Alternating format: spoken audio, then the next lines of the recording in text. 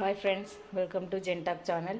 Today I am going to prepare a garlic recipe without oil. I am not going to use any kind of oil for this recipe. Switch on the stove, keep the pan, take this garlic and put it into the pan. Don't use any oil or ghee and don't peel the cover of garlic. Make it deep fry until the color change.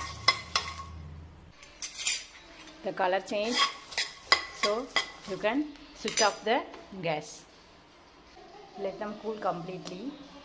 Before handling, squeeze out the garlic from the pepper set and you can eat. Per day you can eat 3 to 5 pieces. It's good for your health. Don't use too much of garlic. You can store for a couple of days in the refrigerator or freeze for later use. Per day you can eat 4 to 5 pieces of garlic and remaining you keep it with you. Thank you. Have a nice day.